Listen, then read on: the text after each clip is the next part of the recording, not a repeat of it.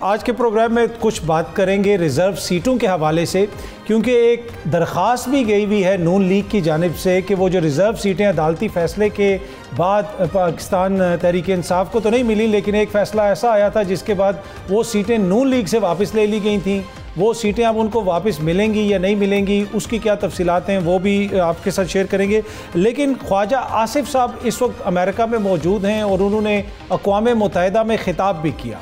वज़ी अजम साहब भी मौजूद हैं। उसके अलावा एक आधे कोई और वफाकी वज़ीर भी साथ हैं। पूरा वफ्त गया हुआ एक तरफ़ हम आई एम एफ़ से पैसे ले रहे हैं और आई एम एफ़ को हम बता रहे हैं कि हमारे हालात कैसे हैं और आई एम एफ़ ने यह भी कहा है कि इन्होंने हमसे पैसे लेने के लिए एक प्राइवेट बैंक से इंतहाई महँगे, जिसे आप कह सकते हैं ना शराय सूद के ऊपर कर्जा भी लिया। ये सामने आप खबर भी देख सकते हैं। साइट पे लगी हुई है। इस खबर में सारी तफसील है कि आईएमएफ ने पोल खोल दिया कि जनाब इन्होंने स्टैंडर्ड चार्टर्ड बैंक से 11 तकरीबन 11 फ़ीसद शराह सूद पे कर्जा लिया, जिसकी कोई ज़रूरत नहीं थी। पर दूसरी तरफ़ हालत ये है कि हुकूमत जो है नई गाड़ियाँ ख़रीद रही है। आज ही डॉन न्यूज़ ने रिपोर्ट किया कि 25 नई गाड़ियाँ ख़रीदी गई हैं वफाकी काबीना के लिए, जिस पे तकरीबन कोई 25 करोड़ रुपया ख़र्चा है क्या ऐसे माहौल में जहाँ पे हमारे पास डॉलर्स नहीं हैं आईएमएफ से हम पैसे लेने के लिए रोज़ कोई मुजाकरात करते हैं, कभी उनकी मिनतें करते हैं, कभी क्या करते हैं, हर किस्म के पापड़ बेलने पड़ते हैं तो क्या हुकूमत को सूट करता है कि इस तरह पैसा खर्च किया जाए?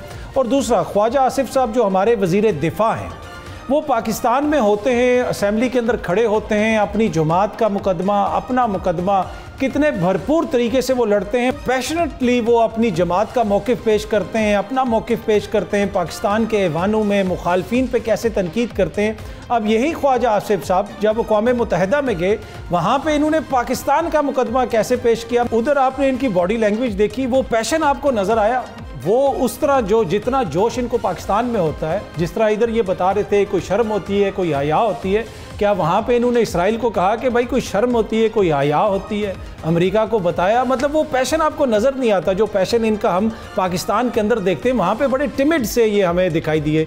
आई डोंट नो इसकी क्या वजह है, इस पर भी गुफ्तु करेंगे, कुछ दीगर मामला हैं इस वक्त जो पाकिस्तान की सियासत आगे किस तरफ़ जा रही है। इमरान खान साहब ने आज सहाफ़ियों से गुफ्तु कर पिंडी में जलसा नहीं करेंगे, एहतजाज करेंगे, हमने लाहौर में जलसा करना है।